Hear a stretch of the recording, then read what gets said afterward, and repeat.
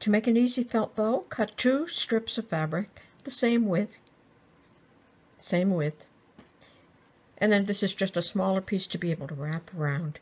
Now fold this over like this and pinch it to mark it, or you can add a pin.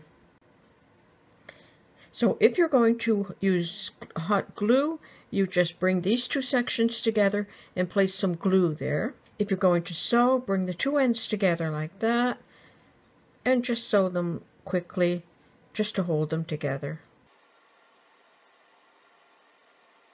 Leave the thread attached. Now fold this over like that. I'm just going to pin it again like that. Take your other section, fold it.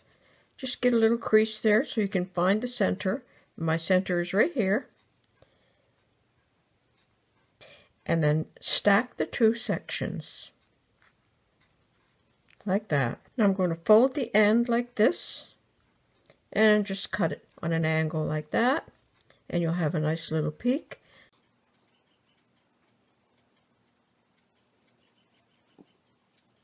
So now I can remove my pin, take one stitch here. Now I'm going to fold this over like this, wrap my thread around, take a stitch on the back. Now take the smaller piece and wrap it around and sew the ends together.